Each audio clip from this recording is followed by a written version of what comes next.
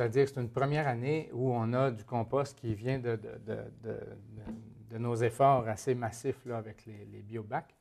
Euh, on a été plusieurs à faire des commentaires sur le fait qu'il y avait juste un point de chute. Il euh, faut s'entendre que, bon, c'est un gros paquet de compost, ça prend, ça prend des efforts logistiques pour, pour être capable de distribuer. On n'était pas capable d'évaluer le succès que ça aurait.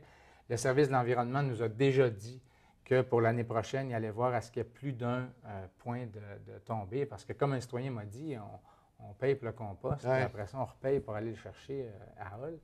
Euh, je comprends tout à fait. En même temps, moi, qu'on procède prudemment, qu'on fasse un premier point là, puis qu'on ait d'autres l'année d'après, moi, je suis quand même assez à l'aise avec ça.